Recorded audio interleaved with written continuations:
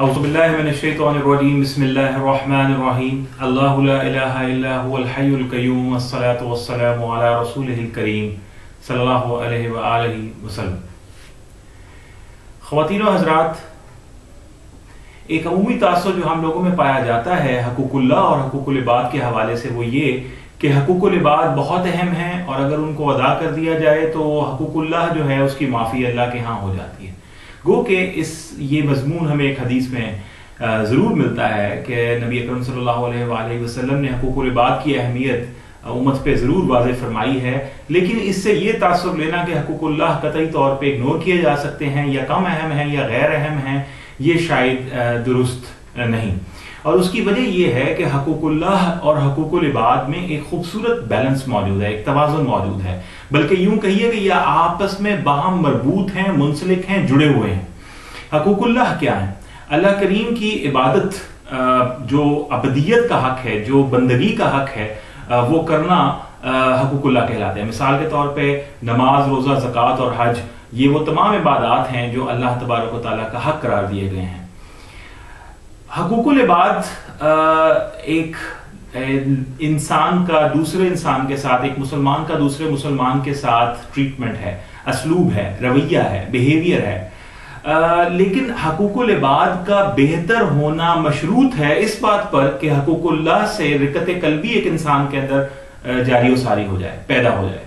رکت قلبی کیا ہے؟ دل کا درم ہو جانا، دل کے اندر ایسی رکت تاری ہونا کہ دوسرے کے درد کو محسوس کیا جا سکے۔ ایسی رکت تاری ہونا کہ اپنا حق دوسرے کے لیے چھوڑا جا سکے۔ اپنا حق دوسرے کے لیے اثار کیا جا سکے، قربان کیا جا سکے۔ لیکن خواتین و حضرات یہ کیسے کر کیوں کر ممکن؟ ہے کہ ایک انسان اپنا حق، یہ تو بشری تقاضے کے خلاف ہوا۔ انسان کا بشریت کا حق تو یہ ہے کہ انسان چھیننا چاہتا ہے، جھپٹنا چاہتا ہے، دوسرے کا حق تلف کرنا چاہتا ہے۔ لیکن اس مکارم اخلاق تک پہنچنے کے لیے، اس اسوا تک پہنچنے کے لیے، اس اخلاقی رویے تک پہنچنے کے لیے کہ آپ لوگوں کا حق نہ مارے اور ان کو ان کا حق دے دیں، اس کے لیے آپ کے دل میں وہ نرمی چاہیے، وہ رکت چاہیے جو کہ صرف اور صرف حقوق اللہ کی ادائیگی سے حاصل ہو سکتی۔ ہے جب ایک انسان نماز پڑھتا ہے، روزہ رکھتا ہے، زکوٰۃ دیتا ہے تو حج کرتا ہے تو اس میں بنیادی تصور یہ ہے کہ انسان اپنے انفرادی عمل کے ذریعے سے اللہ کے سامنے ایک گریٹر کانشیسنس حاصل کرتا ہے، ایک سیلف اکاؤنٹیبلٹی کا تصور اس کے ذہن اور قلب میں جنم پاتا ہے۔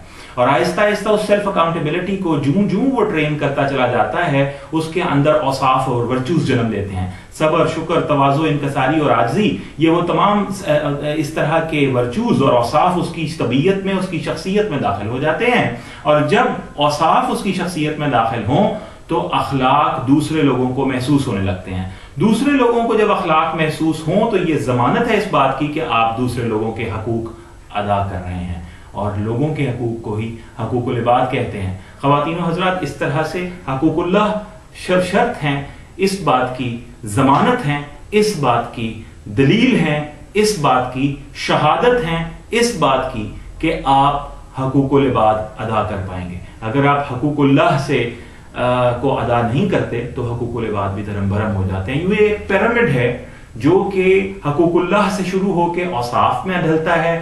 اوصاف طبیعت اور شخصیت میں ڈھلنے کے بعد لوگوں کو اخلاق کی صورت میں محسوس ہوتے ہیں۔ اور اگر لوگ آپ کے اخلاق کی گواہی دیں، انہیں آپ کے اخلاق محسوس ہوں، تو اس کا مطلب ہے لوگ آپ سے خوش ہیں اور آپ حقوق العباد ادا کر رہے ہیں۔ اللہ کریم ہمیں حقوق العباد اور حقوق اللہ دونوں ادا کرنے کی توفیق عطا فرمائے۔ وآخر دعوانا الحمد للہ رب العالم السلام علیکم۔